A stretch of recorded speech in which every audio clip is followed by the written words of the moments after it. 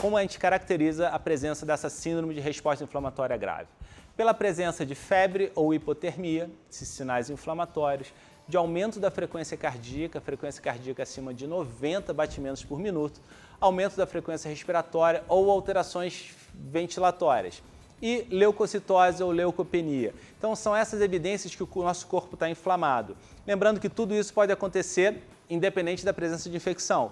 Isso acontecendo na presença de infecção é sinal que está tá tendo uma resposta inflamatória do nosso organismo todo para controlar essa infecção.